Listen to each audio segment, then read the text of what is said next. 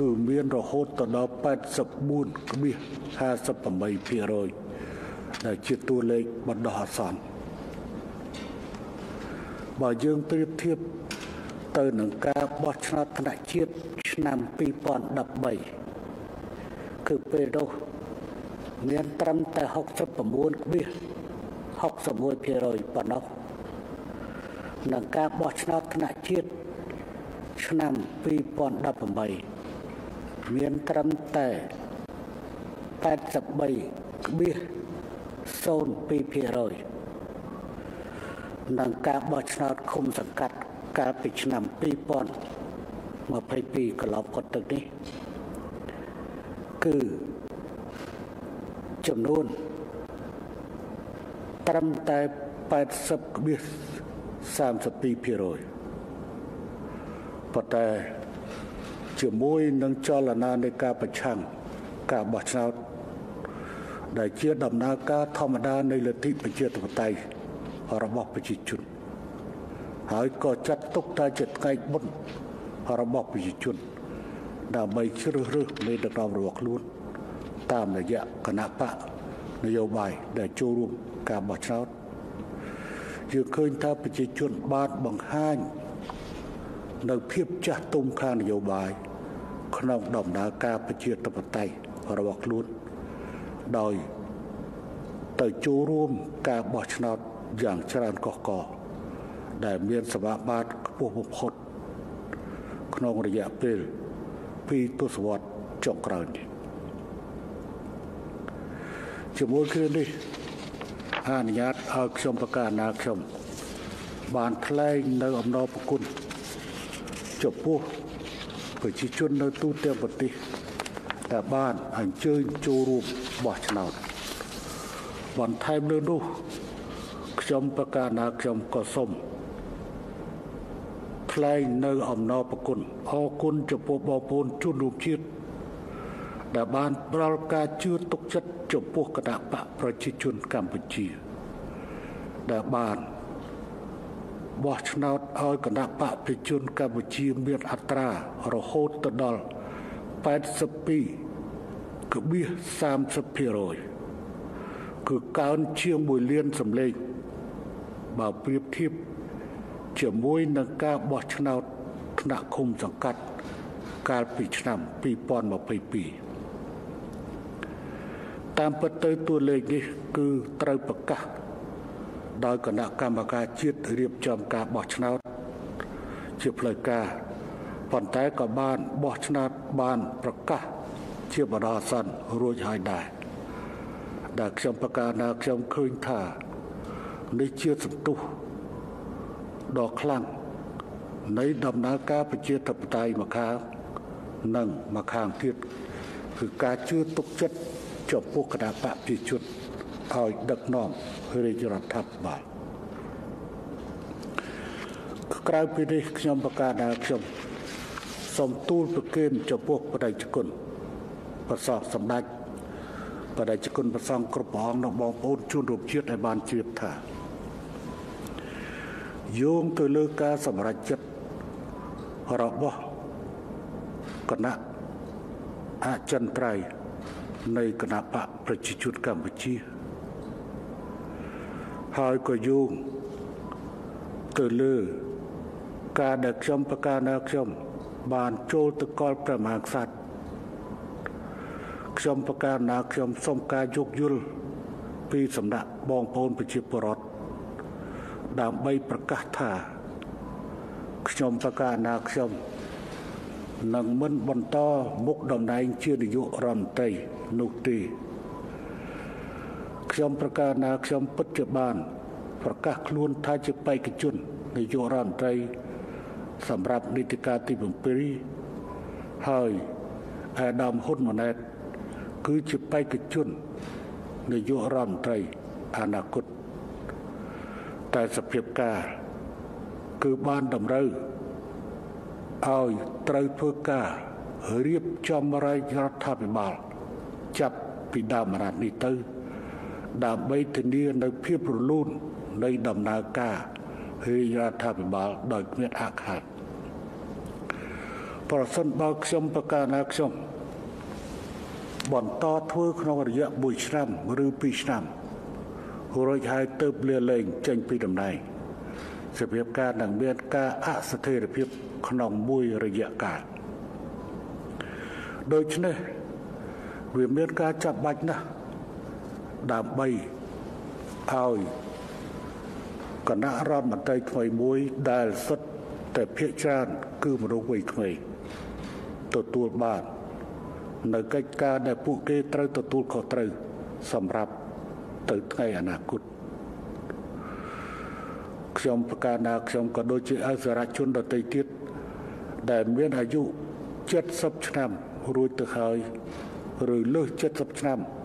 រហូតទៅដល់ជាង80ឆ្នាំកប់3ត្រូវនៅពីខាងក្រោយខ្នងប៉ុន្តែខ្ញុំប្រកាសណាខ្ញុំសូមបញ្ជាក់បន្តិចទៀតអំពីរបៀបរបស់ខ្ញុំប្រកាសណាខ្ញុំនឹងចាត់ការយ៉ាងដូចម្តេច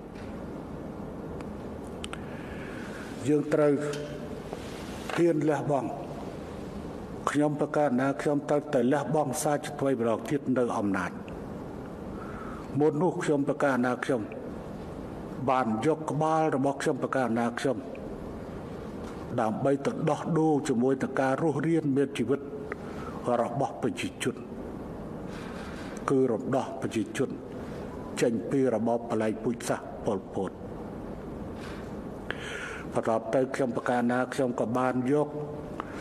ក្បាលរបស់ខ្ញុំប្រកាសណាខ្ញុំទៅដោះដូរជាមួយនឹងសន្តិភាពដោយខិតខំបញ្ចប់សង្គ្រាមនាំមកនៅការបង្រួបបង្រួមជាតិឯកភាពជាតិឯកភាពទឹកដីជាលើកដំបូងនៅក្នុងរយៈពេលដ៏យូរនៃប្រទេសកម្ពុជាខ្ញុំក៏ការណាក៏ខ្ញុំរក ខ្ញុំប្រកាសណាក៏បានយកជីវិតនយោបាយរបស់ខ្ញុំប្រកាសណាខ្ញុំទៅដោះដូរជាមួយនឹងកំណែតម្រង់នានាដែលធ្វើឲ្យប្រជាណាចក្រកម្ពុជាទទួលបានលទ្ធផលរហូតដល់ពេលនេះដូច្នេះហេតុអ្វីបានជាខ្ញុំប្រកាសណាខ្ញុំប្រញាប់បញ្ញានៅក្នុងការចាក់ចែកដូចនេះនេះជាការរៀបចំ ទុកជាមុន នៅការរក្សាស្ថិរភាពរយៈពេលវែងរបស់ប្រទេសហើយសន្តិភាពនិងស្ថិរភាពក្នុងរយៈពេលវែងនោះហើយដែលជាមូលដ្ឋានគ្រឹះនៃការអភិវឌ្ឍសន្តិភាពនិងការអភិវឌ្ឍនឹងត្រូវតែទទួលបានបន្តទៀតតាមរយៈ កូនរបស់ខ្ញុំប្រកាសណាខ្ញុំគេមិនមែនទទួលតំណែងពីខ្ញុំប្រកាសណាខ្ញុំដោយមិនឆ្លងកាត់នៅនីតិវិធីជាពិសេសគឺការបោះឆ្នោតពីសំណាក់ប្រជាជនដើម្បីឲ្យគេคลายទៅជាអ្នកតំណាងរាស្ត្រនោះទេវាជាការធានាអះអាងមួយដែលនៅពេលដែលអ្នកចំនួនថ្មី ចូលកាន់តំណែងអ្នកចំនួនខ្លះគឺនៅឈរអែបខ្លួនគេខ្ញុំប្រកាសណាខ្ញុំសម្ដេចក្លាហោមសខេងសម្ដេចពិជ័យសនាទាបាញ់សម្ដេចមែនសំអននិងឧបនាយករដ្ឋមន្ត្រីមួយចំនួនទៀតក៏នឹងចាក់ចេញផុតពីតំណែងផងដែរប៉ុន្តែ សូមជម្រាបជូនទូលប្រកេននិងជម្រាបជូនចំពោះបងប្អូនជនរួមជាតិឲ្យបានជ្រាបអំពីអនាគតនយោបាយរបស់ខ្ញុំប្រកាសណាខ្ញុំខ្ញុំប្រកាសណាខ្ញុំនៅតែបន្តក្នុងមុខនទីជាប្រធានគណៈបកកាន់អំណាចនឹងធ្វើជាសមាជិករដ្ឋសភាបន្ថែមលើនោះ គឺព្រះមហាក្សត្រព្រះអង្គទ្រង់បរិជ្ជទាននិងបរិជ្ជទានតែងតាំងខ្ញុំប្រកាសណាខ្ញុំជាប្រធានឧត្តមក្រុមប្រឹក្សាព្រះមហាក្សត្រ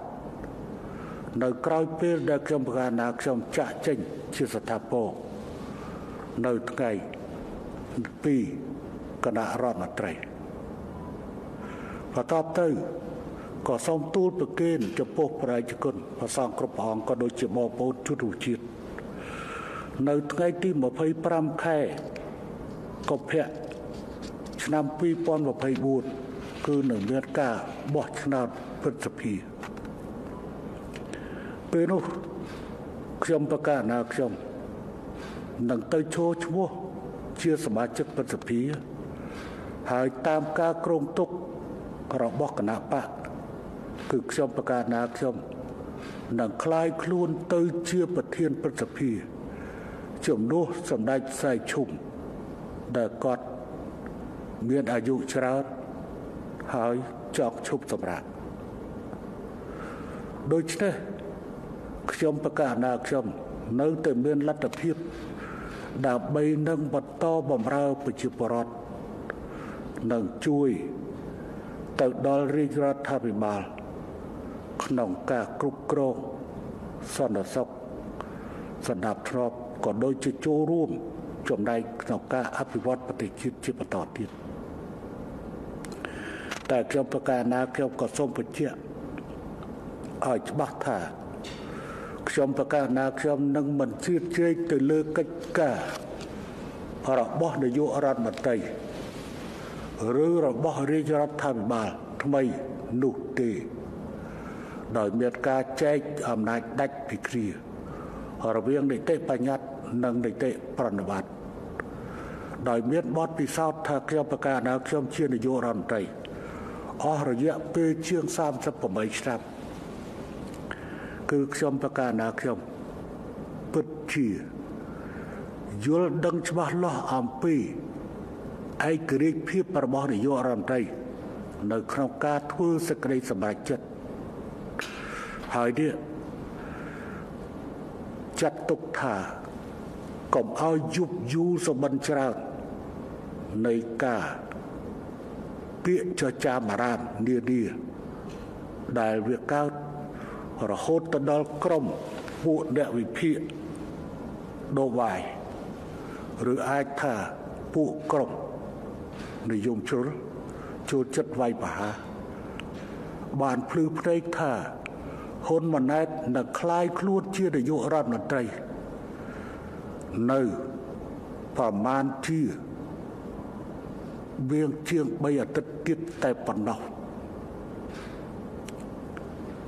ហ៊ុនម៉ាណែតមានលទ្ធភាពហើយឥឡូវហ៊ុនម៉ាណែតបានបំពេញរួចហើយនៅភារកិច្ច2នៅកិច្ចការ2ទី1គណៈបកបានឯកច្ឆន្ទ តែងតាំងហ៊ុនម៉ាណែតជាបេក្ខជននាយករដ្ឋមន្ត្រីឥឡូវក៏ទៅនឹងคล้ายទៅជានាយករដ្ឋមន្ត្រីនៅប្រមាណសប្តាហ៍ខាងមុខឯទី2ហ៊ុនម៉ាណែតបានជាប់ជាអ្នកតម្លើងរាជរួចស្រេចទៅហើយពិតមែនតែពេលនេះគេមិនមែនគេមិនតាន់មានសុពលភាពជាអ្នកតម្លើងរាជ ដោយសារតែអ្នកជាប់ឆ្នោតទាំងអស់មិនតាន់បានកោះប្រជុំដោយព្រះមហាក្សត្រនិងស្បត់ចូលកាន់តំណែងឯទី3ព្រះមហាក្សត្រព្រឹកមិញនេះទូបង្គំខ្ញុំប្រកាសណាខ្ញុំបានចូលកល់ព្រះមហាក្សត្រព្រះមហាក្សត្រប្រងក ទទួលយកនៅសំណើពីប្រធានគណៈបកដែលមានអាសនៈច្រើនជាងគេនៅក្នុងរដ្ឋសភាដើម្បីនឹងចេញបរិយាកិច្ចតែងតាំងនាយករដ្ឋមន្ត្រីគឺបណ្ឌិតហ៊ុនម៉ាណែតប៉ុន្តែបន្តទៅទៀតគឺ នាយករដ្ឋមន្ត្រីរូបនេះនឹងទៅរៀបចំគូកងរាជរដ្ឋាភិបាលសមាជិកក្នុងគណៈរដ្ឋមន្ត្រីដើម្បីឲ្យសភាផ្ដាល់នៅការទុកចិត្តខខ្ញុំប្រកាសថាខ្ញុំសូមបញ្ជាក់សាជាថ្មីថានេះជាការលះបង់មួយដ៏ធំប៉ុន្តែការលះបង់របស់ខ្ញុំប្រការណាខ្ញុំនេះ វាមានតម្លៃដើម្បីធានានៅសេចក្តីសុខសាន្តរបស់ប្រជាជនហើយក៏ដោយគ្រានេះដែរយើងបានប្រៀបធៀបព្រះករណាព្រះបិតាជាតិរបស់យើងសម្ដេចព្រះនរោត្តមសីហនុព្រះបរមរតនកោដ្ឋព្រះអង្គបានត្រៀមរៀបបានរៀបចំបានយ៉ាងល្អគឺព្រះអង្គបានដាក់រាជហើយក៏ព្រះអង្គ ក៏បានរៀបចំព្រះមហាក្សត្រថ្មី គឺព្រះមហាក្សត្របច្ចុប្បន្នព្រះបរមរាជនរោត្តមសីហមុនី ជាព្រះមហាក្សត្រនៅក្នុងពេលនោះប្រសិនបើពុំមានការរៀបចំតាន់ពេលទុកជាមុនក្នុងរយៈពេល8ឆ្នាំនៅពេលដែលព្រះមហាក្សត្រសោយទីបង្គត់នៅឆ្នាំ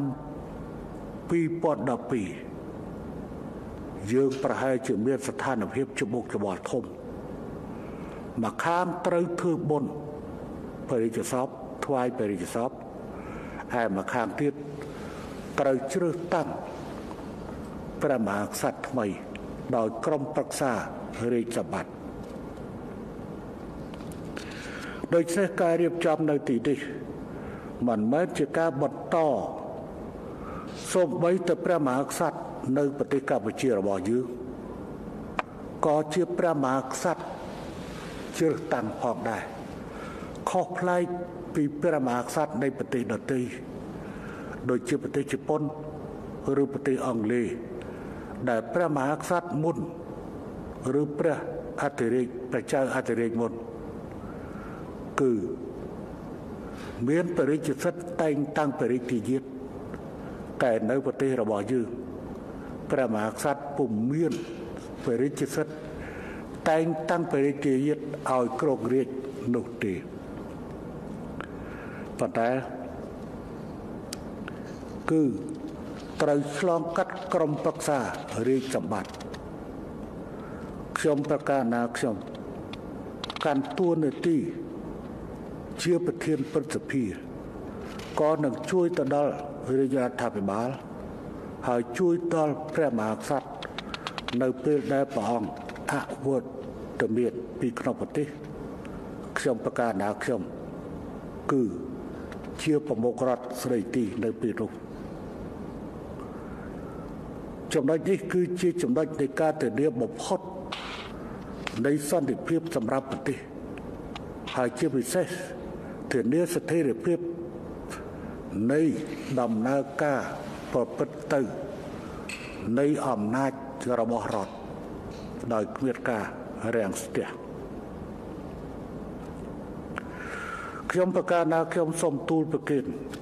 ចំពោះបដិជគុណប្រសងគ្រប់ព្រះអង្គក៏ដូចជាបងប្អូនជួនរូបជាតិយោងទៅលើប្រក្តីទិនការងារគឺ នៅពេលដែលគណៈកម្មការជាតិរៀបចំការបោះឆ្នោតប្រកាសលទ្ធផលផ្លូវការរួចហើយ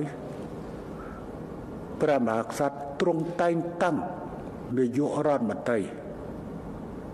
ដើម្បីឲ្យរៀបចំរាជរដ្ឋាភិបាលសម្រាប់ដំណើរការនៃការរៀបចំរាជរដ្ឋាភិបាលសម្រាប់ នាំយកទៅសុំសក្តិទុកចិត្តពីសភាយោងទៅលើប្រក្តីទិនអាចមាននៅលទ្ធភាព2កើតឡើងលទ្ធភាពទី1គឺគណៈកម្មការជាតិរៀបចំការបោះឆ្នោតនឹងប្រកាសលទ្ធផលនៅថ្ងៃទី9បើសិនជាប្រកាសលទ្ធផលនៅថ្ងៃទី9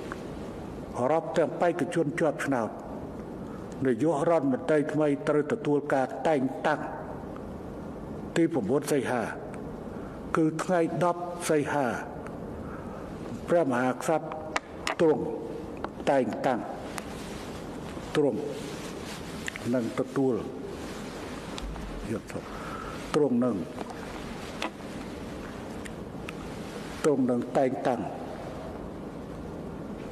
នាយករដ្ឋមន្ត្រីថ្មីបើយកទៅលើប្រក្តីទិននេះគឺចំថ្ងៃទី10ខែសីហា គឺថ្ងៃទី9រោច9រោចខែស្រាប់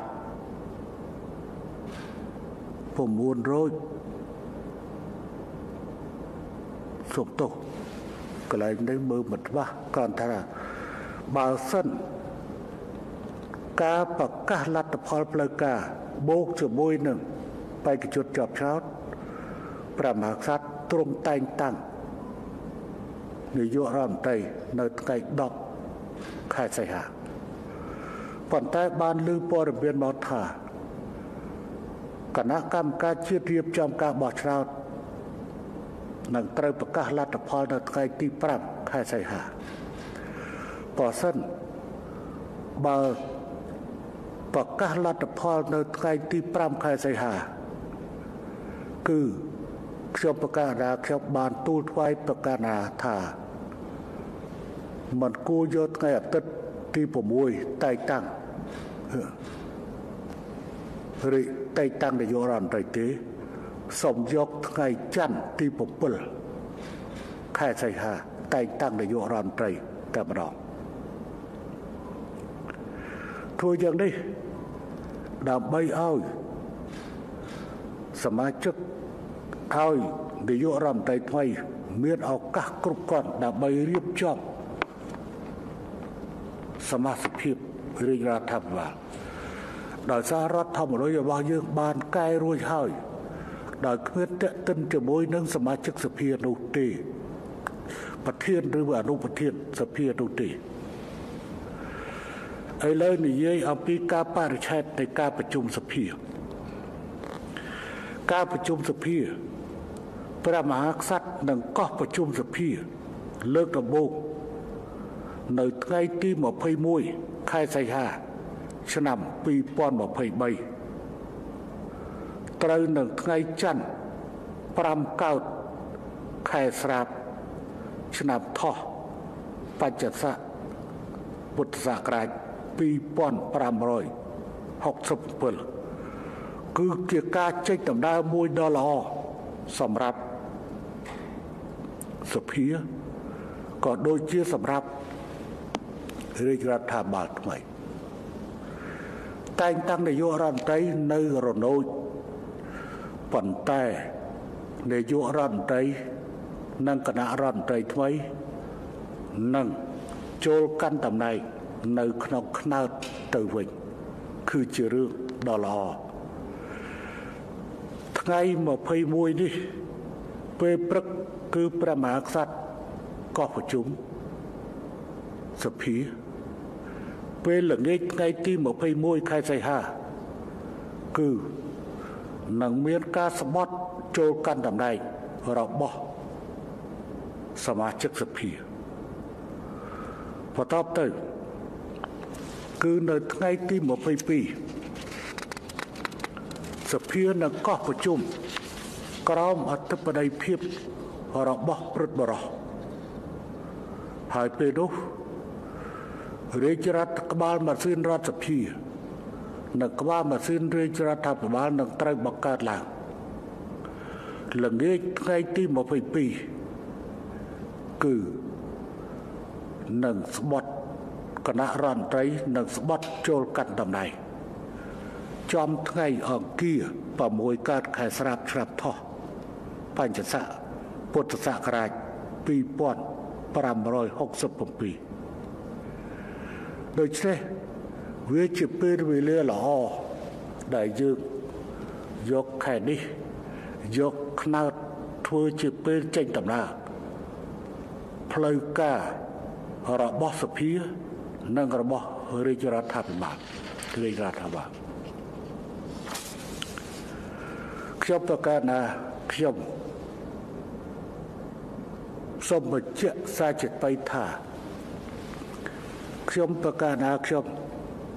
នៅតែជាតួអង្គអ្នកនយោបាយដែលដឹកនាំប្រទេសជាបន្តទៀត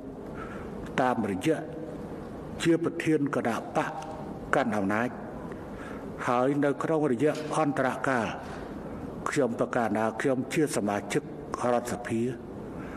ដើរទន្ទឹមគ្នាជាមួយនឹងជាប្រធានឧត្តមក្រុមប្រឹក្សាព្រះមហាក្សត្រ តែមុខនេតិនេះមិនមានអំណាចទេ តែខ្ញុំប្រកាសថាខ្ញុំនឹងដង្ហែព្រះមហាក្សត្រក៏ដូចជាជួយសម្របសម្រួលរវាងព្រះបរមរាជវាំងជាមួយនឹងរាជរដ្ឋាភិបាល ជាពិសេសការគុតគួងផោះភៀឬអ្វីទាំងឡាយសន្តិសុខជាពិសេសគឺការការពារបរិបបលាំងតែម្ដង ប៉ុន្តែខ្ញុំប្រកាសណាហើយបន្តទៅទៀតនៅក្នុងខែកុម្ភៈហើយអាចថាកោះប្រជុំព្រឹទ្ធសភានៅខែមេរាខ្ញុំប្រកាសណាខ្ញុំពេលនោះនៅខ្លាចទៅជាប្រធានព្រឹទ្ធសភានៃព្រះរាជាណាចក្រកម្ពុជាជំនួសសម្ដេចថៃឈុំដែលនឹងត្រូវឈប់នេះគឺជាការស្រស់ស្រួលហើយក៏បានទូលព្រះមហាក្សត្ររួចមកហើយ ផងដែរសម្ដេចហេងសំរិនសម្ដេចសខេសម្ដេចទាបាច់សម្ដេចមែនសម្បនក៏នឹងត្រូវបានតែងតាំងជាឧត្តមទីប្រឹក្សាឧត្តមប្រឹក្សាផ្ទាល់របស់ព្រះមហាក្សត្រផងដែរដែលនេះគឺជាដំណើរការដែលខ្ញុំប្រកាសថាខ្ញុំសូមទូលប្រគេននិងជម្រាបជូន ហើយខ្ញុំប្រកាសថាខ្ញុំសូមបញ្ជាក់ថា បើទោះបីជាអំណាចនយោបាយស្ថិតនៅក្នុងដៃរបស់ខ្ញុំកណាខ្ញុំដដែលតែខ្ញុំប្រកាសថាខ្ញុំនឹងមិនជឿជែកទៅលើកិច្ចការរបស់រាជរដ្ឋាភិបាលឬនាយករដ្ឋមន្ត្រីថ្មីនោះឡើយព្រោះថាកម្មវិធីនយោបាយរបស់គណៈបកប្រជាជនកម្ពុជា បានដាក់ចេញ ហើយរាជរដ្ឋាភិបាលយកទៅកែច្នៃអនុវត្តតាមការជាក់ស្ដែងបើខ្ញុំប្រកាសថាខ្ញុំបានដឹងហើយនឹងទទួលការរៀបចំជាមួយនឹងទេសរជនដែលនៅត្រូវបន្តវេនគឺយើងបានឈានពោះទៅកាត់យុទ្ធសាស្ត្របញ្ចកោណជំនួសឲ្យយុទ្ធសាស្ត្រចតុកោណ ដោយមានដំណើរការរបស់វាបន្ថែមទៅលើទស្សនវិជ្ជាថ្មីថ្មីទៅតាមតម្រូវការនៃការអភិវឌ្ឍប្រទេសដូច្នេះសូមបងប្អូនជនរួមជាតិក៏មានការបារម្ភទៅលើការចាក់ចេញរបស់ខ្ញុំប្រកាសណាខ្ញុំពិតមែនហើយខ្ញុំប្រកាសណាខ្ញុំ នៅតែនឹកឃើញសម្ដីរបស់លោកជំទាវភឿងសក្តានៅពេលដែលខ្ញុំប្រកាសណាខ្ញុំបានប្រាប់សម្រាប់គាត់អំពីគោលបំណងគាត់បាននិយាយពាក្យមួយឃ្លាដែលធ្វើឲ្យខ្ញុំប្រកាសណាខ្ញុំនឹកអាឡោះអាឡៃនោះនៅត្រង់ថាជួបបងប្រុស គឺជាការសបាយប៉ុន្តែបែកពីឪពុកគឺជារឿងលំបាកខ្ញុំប្រកាសណាខ្ញុំពិតជាមានការយល់ដឹងអំពីរឿងនេះប៉ុន្តែយើងត្រូវតែសម្រេចចិត្តដើម្បីនឹងចាក់ចេញពីតំណែងនាយករដ្ឋមន្ត្រីដែលខ្ញុំប្រកាសណាខ្ញុំបានធ្វើជាង38ឆ្នាំដែលជានាយករដ្ឋមន្ត្រីយូរជាងគេនៅលើពិភពលោកនេះ រៀបចំដំណើរផ្លូវសម្រាប់វែងឆ្ងាយទៅមុខទៀតសារព័ត៌មានបរទេសបានចុះផ្សាយ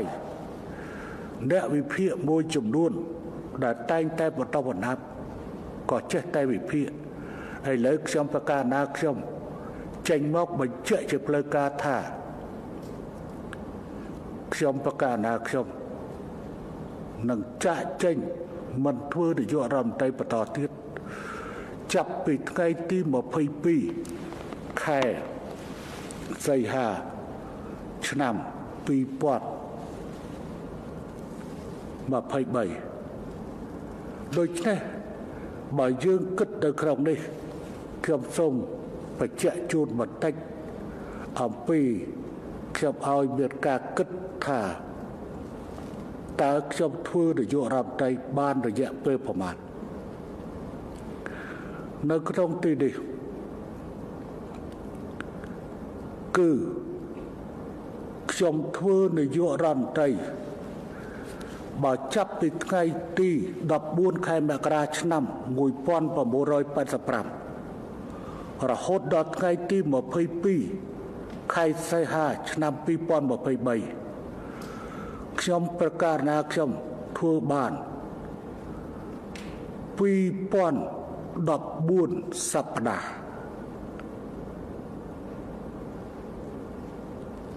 បើគិត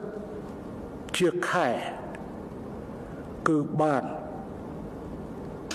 463ខែបើគិតជាឆ្នាំ គឺបាន3 38ឆ្នាំ7ខែ8ថ្ងៃហើយបើគិតសុបទោសថ្ងៃគឺបងប្អូនដូចជាមិនបានគិតឲ្យអំពីថ្ងៃ តើបានប្រមាណថ្ងៃគឺសូមមើលបន្តិចអំពីថ្ងៃដែលយើងបានធ្វើក្នុងនោះគឺបានធ្វើ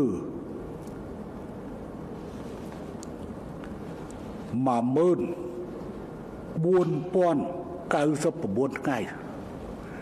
គឺជារយៈរតីដែលវែងជាងគេនៅលើពិភពលោកនៅលើពិភពលោក ហើយបើគិតអំពីពេលវេលា ដែលខ្ញុំប្រកាសណាខ្ញុំបានចាប់ផ្ដើមនៅក្នុងឋានៈជាចាប់ពីរដ្ឋមន្ត្រីការបរទេស នៅក្នុងរដ្ឋាភិបាលមិនដាច់រយៈពីថ្ងៃទី8ខែមករា1979ដល់ថ្ងៃទី22ខែសីហា ឆ្នាំ2023 ខ្ញុំប្រកាសណាខ្ញុំបានបំពេញការងារក្នុងរាជរដ្ឋក្នុងរដ្ឋាភិបាលនិងរាជរដ្ឋាភិបាលមានរយៈពេល2328សប្តាហ៍ត្រូវជា16297ថ្ងៃត្រូវជា500 35ខែនឹងត្រូវជា30 44ឆ្នាំ7ខែ14ខែគឺបានចកៃថាបំពេញកិច្ចការងារនេះ គឺអស់រយៈពេលជិតកន្លះសតវត្ស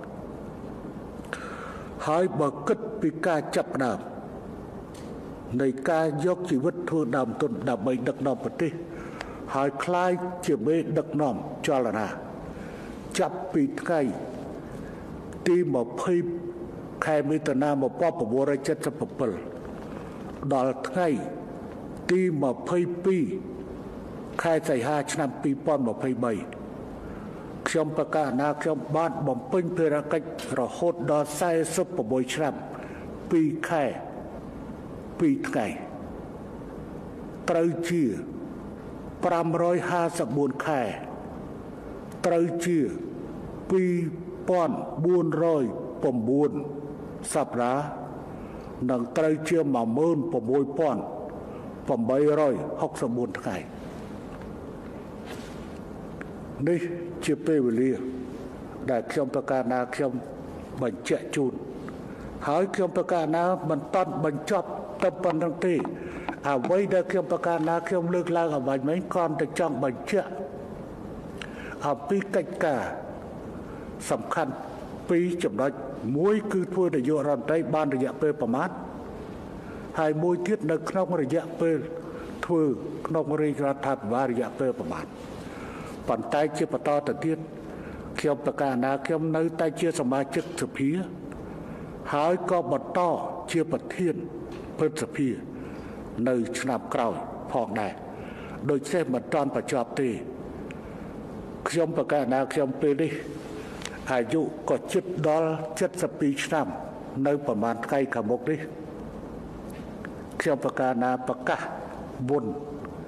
ដើម្បីជៀសវាងការធ្វើអត្ថាធិប្បាយពីវាលពីកាលពីកសែតបរទេសឬពីអ្នកមជ្ឈដ្ឋានប្រឆាំងនានាដែលរហូតទៅដល់ថា តើហ៊ុនម៉ាណែតអាចធ្វើនយោបាយរដ្ឋមន្ត្រីទេ បានធ្វើនយោបាយរដ្ឋមន្ត្រីខ្ញុំសូមបញ្ជាក់ប្រាប់អ្នកឯងឲ្យច្បាស់ហ៊ុនម៉ាណែតនឹងចាប់ផ្ដើមធ្វើនយោបាយរដ្ឋមន្ត្រីនៅល្ងាចថ្ងៃទី22ខែសីហាឆ្នាំ2023ខាងមុខអ្នកពេលនោះអ្នកចង់ហៅហ៊ុនម៉ាណែតជានាយករដ្ឋមន្ត្រីក៏ហៅទៅ អ្នកមិនចង់ហៅទេ ក៏អ្នកនៅក្រៅច្បាប់ទៅព្រោះប្រជាជន84%បោះឆ្នោតបូកជាមួយនឹង8ជាង82%នៃអ្នកចូលរួមបោះឆ្នោត82%នៃការគ្រប់គ្រងគឺវាគ្រប់គ្រាន់ណាស់ទៅហើយមិនចាំបាច់អ្នកឯងមកគ្រប់គ្រងក៏បានដែរគ្មានការចាំបាច់ហើយឲ្យអ្នកឯងជេរហ៊ុនម៉ាណែតកំដរលេងតទៅទៀតចុះ តទៅទៀតចុះប្រសិនបើអ្នកឯងចង់ជេរចង់ជេរប៉ុន្តែអ្វីដែលជាការជឿទុកចិត្តរបស់ខ្ញុំគឺប្រជាពលរដ្ឋនឹងបន្តគ្រប់គ្រងហ៊ុនម៉ាណែតវាមិនមែនជាការបន្តវេនតាមដូចជាព្រះមហាក្សត្រដែលមានបរិជ្ជសិទ្ធតែងតាំងបរិជ្ជយុទេ ហ៊ុនម៉ាណែតបើទោះបីមិនមែនជាកូនរបស់ខ្ញុំក៏ខ្ញុំគ្រប់គ្រងហ៊ុនម៉ាណែតជានាយករដ្ឋមន្ត្រីដែរខ្ញុំតែងតែបញ្ជាក់អ្នកចំកំផន់ច្រឡប់ឲ្យសោះហ៊ុនម៉ាណែតត្រូវឆ្លងកាត់4ដំណាក់កាលសំខាន់1គឺត្រូវតែគណៈបកមានការឯកភាពផ្ទៃក្នុងឲ្យคล้ายទៅជាអ្នកបន្តវេន2 ត្រូវតែជាប់ជាសមាជិករដ្ឋសភាឆ្លងកាត់ការបោះឆ្នោតសកល3ត្រូវបានទទួលការតែងតាំងពីព្រះមហាក្សត្រឲ្យរៀបចំរាជរដ្ឋាភិបាល4ត្រូវតែឆ្លងកាត់ការអនុម័តដោយសភាជាតិដោយសភាជាតិខ្ញុំសូមស្នើដល់បងប្អូនរដ្ឋមន្ត្រីទាំងឡាយ ដែលមិនបន្តតំណែងក្នុងរដ្ឋមន្ត្រីតទៅទៀតសូមមេត្តាយោគយល់យើងត្រូវតែមានការលះបង់មួយហើយអ្នកដែលលះបង់ធំជាងគេគឺគ្រូខ្ញុំបើទោះបីជាកូនរបស់ខ្ញុំបន្តវេនក៏ដោយក៏ប៉ុន្តែអ្នកដែលធ្លាប់មានអំណាចបញ្ជា គឺអត់មានអំណាចបញ្ជានោះគឺជាការលះបង់ហើយដូច្នេះ សូមឲ្យរដ្ឋមន្ត្រីនានាដែលមិនទទួលតំណែងជារដ្ឋមន្ត្រីតទៅទៀតអង្គុយនៅក្នុងសភាជាតំណាងរាស្ត្រព្រោះពួកយើងចាស់ចាស់ណាស់ហើយមួយចំនួនទៀតក៏អាចតែងតាំងជាទីប្រឹក្សារាជរដ្ឋាភិបាលនិងមួយចំនួនទៀតក៏អាចคล้ายទៅជាសមាជិកព្រឹទ្ធសភានៅពេលកមុខផងដែរ ដែលយើងនឹងពិនិត្យមើលនៅពេលក្រោយពលរដ្ឋមន្ត្រីមួយចំនួនមិនចូលកាន់ការជារដ្ឋមន្ត្រីតទៅទៀតទេយើងអាចឈោឈ្មោះជាសមាជិកព្រឹទ្ធសភាព្រោះសមាជិកព្រឹទ្ធសភារបស់យើងមួយចំនួនក៏បាន មានអាយុ80ឬលើស80ឬក៏គៀកនឹង80ក៏លំមនឹងការចាក់ចេញផងដែរពិតមែនតែពិតសភាត្រូវមានអាយុច្រើនក៏ប៉ុន្តែ អាយុច្រើនហួសក៏ធ្វើការអត់កើតដែរយើងត្រូវគិតអំពីសុខភាពហើយគិតអំពីការបន្តវេននៃអ្នកចំនួនក្រោយខ្ញុំប្រកាសណាខ្ញុំសង្ឃឹមថាការបកស្រាយរបស់ខ្ញុំប្រកាសណាខ្ញុំនេះនឹងคล้ายទៅជាសារជាក់លាក់មួយ ហើយសូមការគ្រប់គ្រងពីសម្ដេចប្រជាពលរដ្ឋកម្ពុជាចំពោះ ហ៊ុនម៉ាណែតដែលជានាយករដ្ឋមន្ត្រីថ្មីជាមួយនឹងខ្ញុំប្រកាសណាខ្ញុំក្នុងឋានៈជាប្រធានបកហើយអនាគតនឹងក្លាយទៅជាប្រធានព្រឹទ្ធសភាដែលនឹងដើរតួនាទីជាប្រមុខរដ្ឋស្ដីទី នៅពេលអវត្តមានព្រះមហាក្សត្រហើយក៏ជាប្រធានក្រុមប្រឹក្សារាជសម្បត្តិផងដែរ ហើយទៅក្នុងអន្តរការនោះខ្ញុំប្រកាសណាខ្ញុំក៏មានពេលវេលាច្រើនដើម្បីដង្ហែព្រះមហាក្សត្រក្នុងឋានៈជាប្រធានឧត្តមក្រុមប្រឹក្សាព្រះមហាក្សត្រខ្ញុំប្រកាសណាជាថ្មីម្ដងទៀតខ្ញុំប្រកាសណាខ្ញុំសូមអរព្រគុណអរគុណចំពោះបងប្អូនជនរួមជាតិទាំងក្នុងនិងក្រៅប្រទេសដែលបាន គ្រប់គ្រងដល់ខ្ញុំប្រកាសណាខ្ញុំក្នុងរយៈពេលកន្លងទៅ ហើយចុងក្រោយនេះគ្រប់គ្រងទៅដល់ដំណើរការលទ្ធិប្រជាធិបតេយ្យតាមរយៈនៃការបោះឆ្នោតខ្ញុំប្រកាសណាខ្ញុំក៏សូមអរគុណចំពោះក្រុមប្រឆាំងទាំងឡាយដែលបានប្រឹងជេរហ៊ុនសែនប្រឹងជេរហ៊ុនម៉ាណែតរហូតទៅដល់គណៈបព្វជិជន ទទួលបាននៅសម្លេងឆ្នោតរហូតទៅដល់82ជាង82%ដែលមុននេះគណៈបកប្រជាជនមានសម្លេងឆ្នោត70ត្រឹមតែ74%តែប៉ុណ្ណោះនៃការបោះឆ្នោតឃុំសង្កាត់ហើយក៏មានត្រឹមតែ75%តែប៉ុណ្ណោះនៃការបោះឆ្នោតថ្នាក់ជាតិឆ្នាំ2018ប៉ុន្តែ ដោយសារតែវិទ្យុរបស់អស់លោកដោយសារតែអស់លោកជេហ៊ុនសែននិងហ៊ុនម៉ាណែតច្រើនពេកប្រជាជនក៏ផ្ដល់នៅក្តីអាណិតស្រឡាញ់ចំពោះហ៊ុនសែននិងហ៊ុនម៉ាណែតទៅវិញអស់លោកជេរបន្ថែមទៀតខ្ញុំគួរតែអរគុណអស់លោក ដែលអស់លោកបានប្រមាថនិងជេរខ្ញុំការជេរនោះហើយក៏ជាចំណែកមួយធ្វើឲ្យអស់លោក បាត់បង់នៅអ្វីអ្វីដែលអស់លោកគួរតែមាន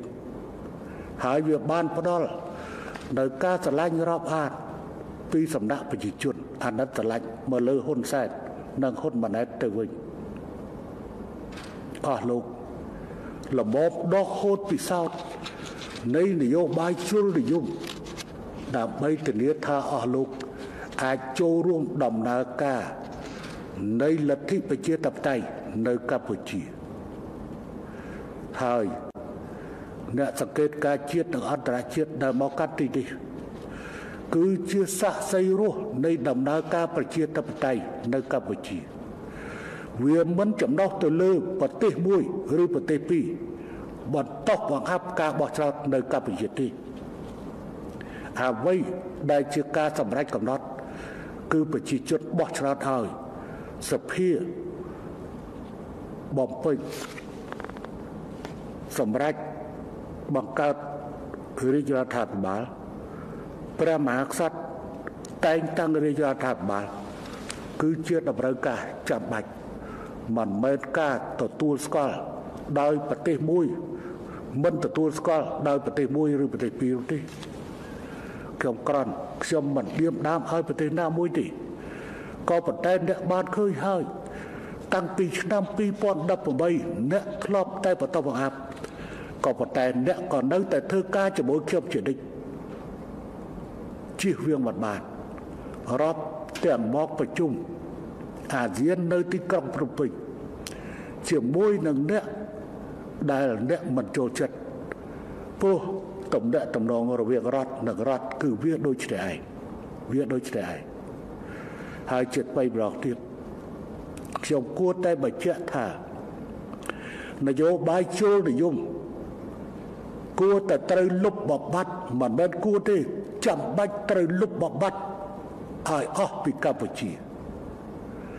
ក្រុមណាក៏ដោយ ដែលមានចេតនាផ្សារភ្ជាប់ខ្លួនជាមួយមេក្រុមជលនិយមគឺមិនគួរត្រូវបានលើកលែងនោះឡើយ ច្បាប់នឹងត្រូវប្រើដើម្បីកំចាត់ចោលជាមួយក្រុមជលនិយមនេះតែម្ដងខ្ញុំមិនប្រមាថអស់លោកនោះទេក៏ប៉ុន្តែខ្ញុំគួរតែដាស់តឿនអស់លោកល្អជាងផ្លូវសហការផ្លូវស្ថាបនាជាជាងផ្លូវប្រើហិង្សា បោះលោកប្រើហិង្សាពាក្យសម្ដីវាជលហួហេតុពេកហើយជលហួហេតុពេកហើយអស់លោករបបយល់ហើយសัญลักษณ์ខ្នោតដែលប្រជាជនបានផ្ដល់ឲ្យគណៈបព្វជិជនលើកនេះគឺជាសัญลักษណ៍ខ្នោតដែលសបញ្ជាក់ទី1ជំនឿទុកចិត្តលើគណៈបព្វជិជន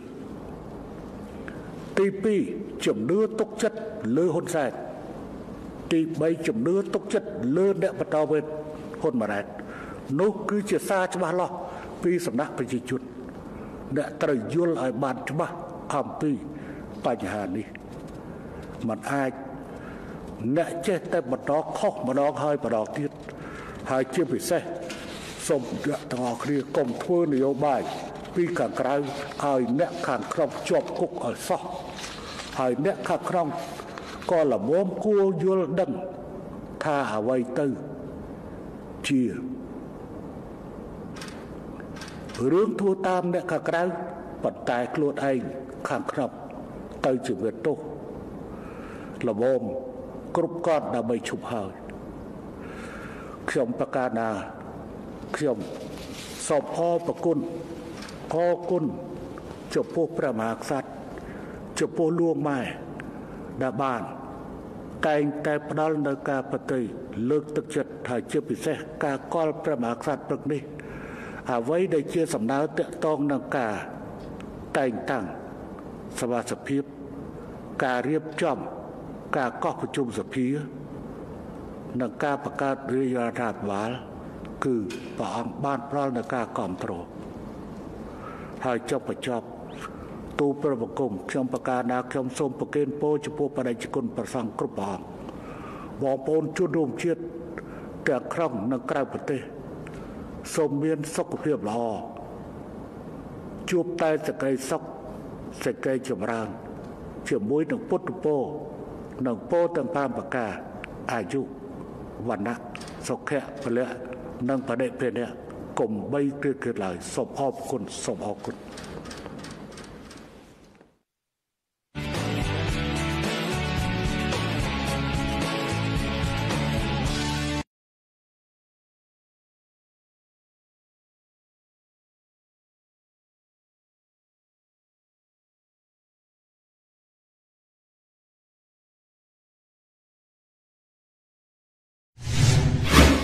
ត្រយង